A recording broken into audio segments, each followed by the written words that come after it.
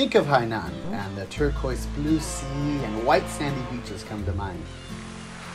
But what many people don't know is that Hainan also has a tropical rainforest national park, located in its central mountainous region. The Hainan Tropical Rainforest National Park is the only place in the world where the Hainan gibbon can be found. It has a biodiversity index comparable to the Amazon rainforest in Brazil.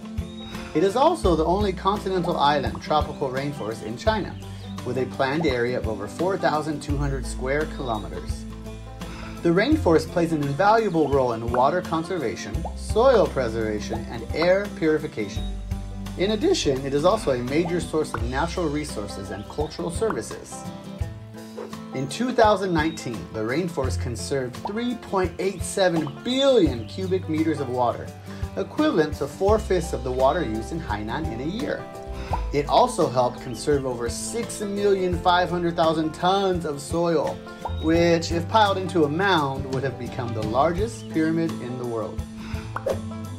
According to official statistics, the gross ecosystem product, or GEP, of the Hainan Tropical Rainforest National Park is 204.51 billion yuan, or $31.62 billion.